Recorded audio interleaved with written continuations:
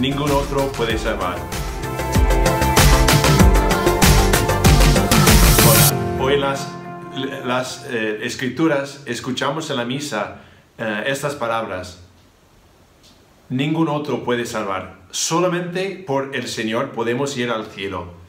Por el pecado de Adán y Eva em, hemos recibido el castigo de ser echados del huerto. Y ahora con el Señor tenemos la oportunidad para entrar en el cielo por su sacrificio en la cruz. Y por eso tenemos em, que recordar esto, ¿no? Solamente es por el Señor. ¿Y qué significa para nosotros en, nuestra vida? Si solamente es por el Señor, el Señor que podemos ser salvados, eso significa que tenemos que pedir, pedir a Él en oración qué quiere Él, qué quiere que hacemos con la vida.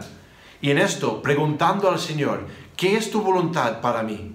Eso em, tenemos que pensar y creer que el Señor primero tiene una voluntad para nosotros, segundo que Él quiere mm, decir, decirle a nosotros, decirlo, ¿no? Eh, decirla, la voluntad, sí, decir su voluntad a nosotros y somos capaces de escucharle. Y por eso, con oración, con confesión, con los sacramentos, eh, vamos a la misa, vamos a confesarnos, ¿no? Con todo esto podemos disponernos a recibir la palabra de Dios para que podamos saber lo que quiere Él en nuestra vida.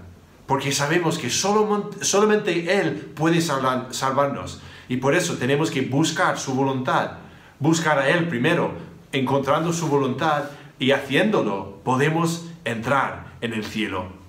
Yo soy Padre Andy y que, que Dios te bendiga.